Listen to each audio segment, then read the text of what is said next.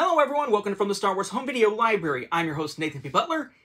This time maybe we should be renaming it. We're not. But to some degree this could be both from the Star Wars Home Video Library and kind of from the Star Trek Home Video Library because we're looking at an item here that goes with the pattern we saw last episode and we'll still see next episode of these things that are sort of documentary or news style programs that are in my Star Wars Home Video Library thanks to the generosity of Matt Fry when he donated a bunch of stuff into my collection including these and which I just haven't had a chance to show on here before. I needed time to actually go through and research them, and they're not exactly mainstream releases for us to look at, and mainstream releases tend to take precedence. But as recent, you know, new releases of Star Wars films are kind of dwindling, more than kind of, but they're dwindling quite a bit, it gives us a chance to explore some of these things. And this one is something that comes from the same company that was behind this that we've looked at before, the stars of Star Wars. Uh, and you may recall that this was kind of an odd one in that it basically was a whole bunch of like stock uh, interviews and stuff for press tours and things like that, along with some new narration kind of spliced together into this program that was a little bit odd. Um, just because of its very nature. It didn't really seem like it featured much in the way of new material. It was primarily just, let's take this breadth and scope of stuff that's out there, like with you know, electronic press kits and stuff like that, or press junket type stuff. And let's just like weave it together with a new narration to try to present something as a documentary. Um, and that seems to apparently be their stock in trade because they've done it again with the program we're going to look at this time. Interestingly, though, this one actually is something that was at one point part of a television series, but which really has no mention of the series really at all on the actual product itself. So apparently Passport Video was behind, or they're the distributors of, a show that at one point was airing on television called Hollywood Rivals.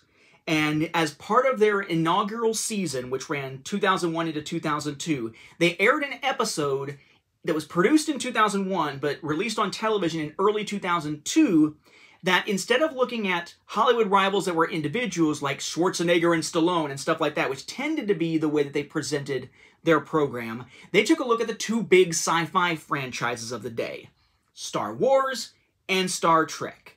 And what you got was something they later released on home video independently, separate of the Hollywood Rivals product line, which was this.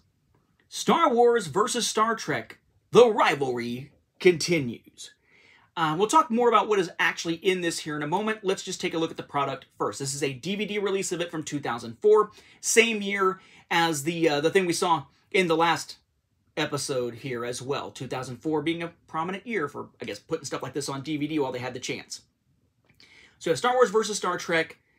The rivalry continues. Nothing else on the front.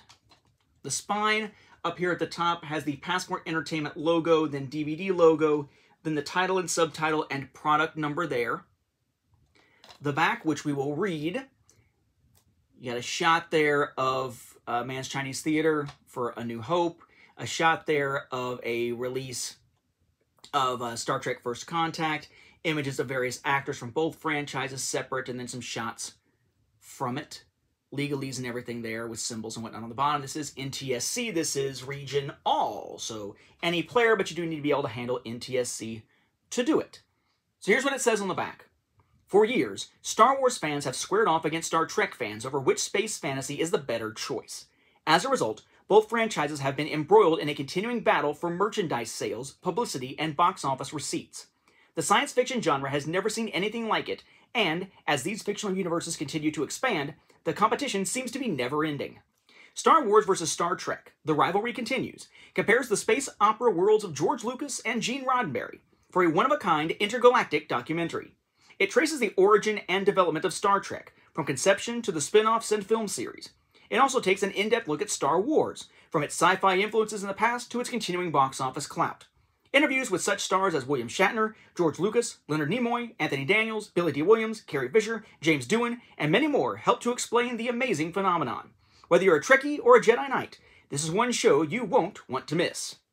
It says Star Wars premiere slash the Star Trek experience, collector's bonus, Enjoy the comprehensive coverage of the 1997 re-release of Star Wars and the opening of the Las Vegas attraction, the Star Trek Experience. Also included are the complete interviews with Carrie Fisher, Harrison Ford, Liam Neeson, Leonard Nimoy, and William Shatner. label-wise, about as generic as you could get. They couldn't even be bothered to make the words actually on there. They just, it's like they copied and pasted chunks of the front cover to make this label there, uh, the logo. So Star Wars versus Star Trek, just as it appears on the front DVD cover. Passport video, the rivalry continues, DVD. Then down here you got the product number, approximate runtime of 80 minutes with your legalese going around the edge here. Um, it is an interesting program. Again, it is very much like Stars of Star Wars. It is a bunch of stuff that exists as, I guess, available interview footage, available blooper footage in some cases, lots of television commercials and whatnot that are spliced together to create this narrative, basically. And then you have narration over top of it that tries to bring it all together into a documentary or television program format here. Um, it doesn't feel as though, maybe I'm wrong, it doesn't feel as though any of the content of the actual stuff you're seeing on screen or the interviews, any of that is actually their work so much as they're pulling it all together because these are publicly available, uh, I guess, non-copyrighted or free use, whatever, fair use um, type sources for publicity to pull this thing together. And it almost feels like they were going to do one on Trek and going to do one on Star Wars, or maybe did ones on both, and decided, let's take them together. It's Star Wars and Star Trek. It's the big sci-fi rivalry out there. Let's play up the rivalry. Let's even make it part of Hollywood Rivals. Let's call it The Rivalry Continues. Let's really play up the rivalry of Trek and Star Wars. Except when you watch it.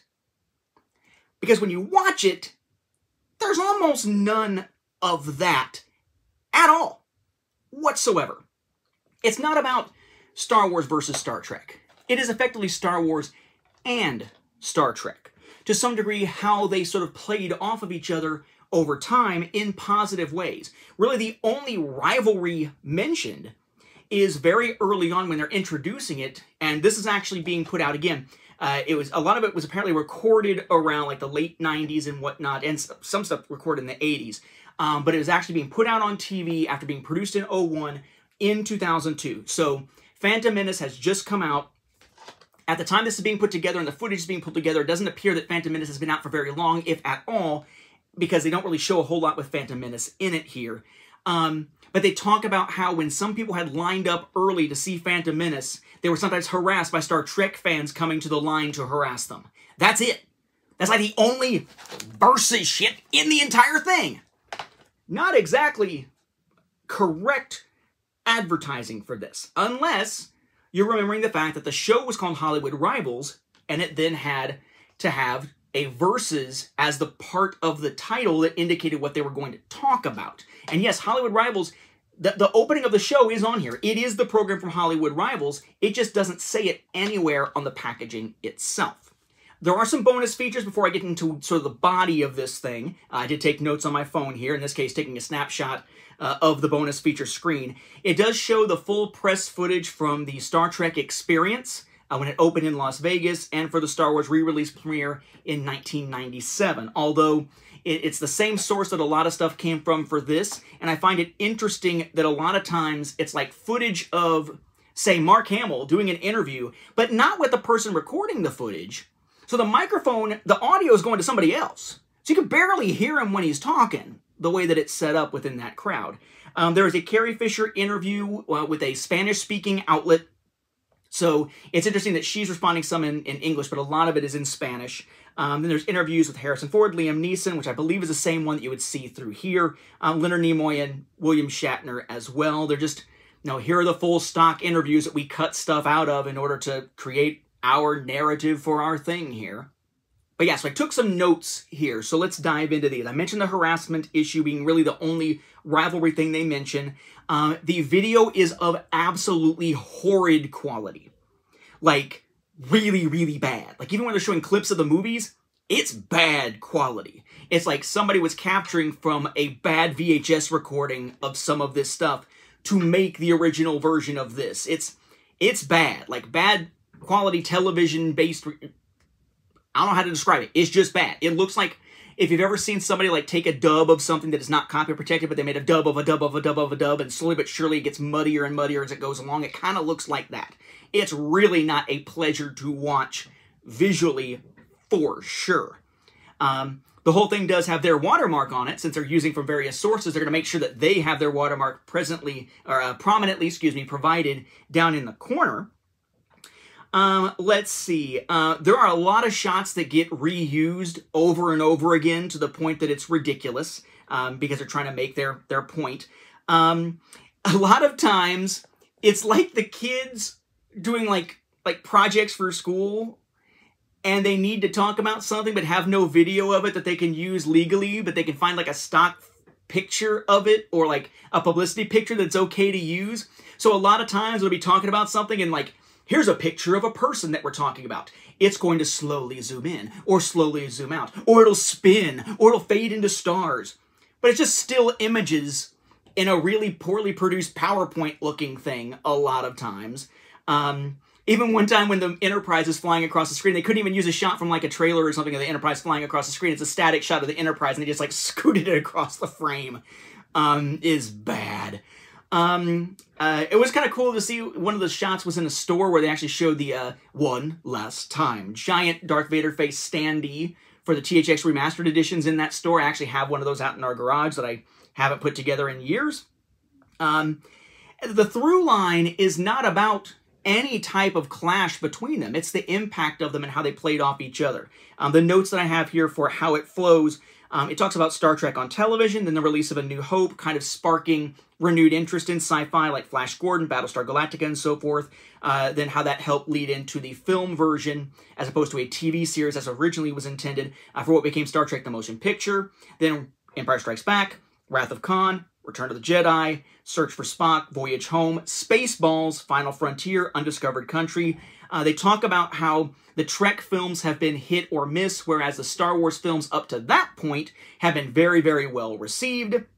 They talk a bit about how Trek has really made an impression on television, but that Star Wars just has never had an impact on television and may never because it just hasn't captured television audiences uh, or they've never really tried to do live action the way they have with Trek. Obviously, that is very dated now. Uh, they mention Trek animation. They do mention Ewoks and droids and whatnot as attempts to get Star Wars to television. Then go into Next Generation, brief mentions of Deep Space Nine and Voyager. That heads into talk about the Star Wars Special Editions, which was one of the more recent things as of this point. Um, uh, let's see. They claim that Star Wars' return to the big screen couldn't match Next Generation's return, right? that the prequels were not nearly as successful and awesome as Generations, First Contact, and Insurrection, which were the only Next Generation films out uh, to this point. Nemesis was still a ways away. They claim that the Trek movies with the Next Generation cast are awesome and show no signs of ending anytime soon. Whereas, once this was aired in 2002, shortly thereafter we saw Attack of the Clones in theaters, but we also saw Star Trek Nemesis, which was the last of the live-action films until the Kelvin reboot. Um, so maybe not great with that claim. Uh, they do mention that two more episodes of the prequel trilogy are on the way, one later that year, and then of course Revenge of the Sith three years after that, uh, that they were in production at the time. And they suggest that Lucas's third trilogy, the sequel trilogy, will still be made if they are successful. So again, another reference to the fact that Lucas had at one point talked about there being nine films. After talking about one, then 12, then nine, then six. And then I never said anybody else couldn't make them. I just said I wouldn't and all that stuff we've talked about before. But it's all within the context of how Star Trek helped pave the way for sci-fi audiences, which then brought us into Star Wars, which helped pave the way for a return to the big screen for Trek, which helped pave the way for it to return to TV, and eventually Star Wars returning and the technology involved and, and how that's broadening the sphere and so on. And just this idea that it doesn't matter what you're a fan of, that they both have, have complemented each other in essence and are these indelible parts of modern pop culture. But not anything versus really about it. Not really. It'd be like if you did a um, a Trump versus Biden, a Trump versus Clinton, and Obama versus McCain, or whatever type of video in an election year. And instead of actually talking about the clash of the rivalry of that election, you instead like told the stories of their childhoods, just back to back and how maybe they were affected by some of the same real world things like the Vietnam War or something. I mean, it's an interesting thing. It might make a fun watch if the video quality wasn't shit. Um, it might make a fun watch, but it's not a rivals versus kind of thing. Not really. It's not even helping your audience really make a decision between two possibilities, in this case, Trek and Wars. So It's it's an okay watch. It was painfully difficult. It it's an okay listen. I'll put it that way. It's, it's okay to listen to. Watching video quality wise, it's so bad. It's not really a pleasure to watch. Interesting to listen to, and certainly a product of its time and what we have come to expect from releases from Passport Video that seem to like to take sources readily available and try to make a buck off of them, or at least that certainly would be the way that it appears to me, looking at these two side by side. So you might want to put it in your Star Wars home video library. You might not. It is Star Wars related. It is a documentary, such as it is. So it is now in my Star Wars home video library. I would definitely be keeping it, and my thanks to Matt Fry for passing this along. That said, how much you're actively going to want to search for this, we'll see. And just beware from a, a content uh, quality standpoint. I imagine it's probably been ripped and is on YouTube or something at this point if you wanted to see it, but it is out there at least on DVD. I bet it's probably on VHS as well, given the era that it was in. I just haven't run across a VHS copy myself. But Star Trek versus Star Wars, it's out there. The rivalry continues, just not even remotely in the program itself. With that, we'll wrap up this episode. Thank you for watching, and may the Force be with you, and May you also live long and prosper.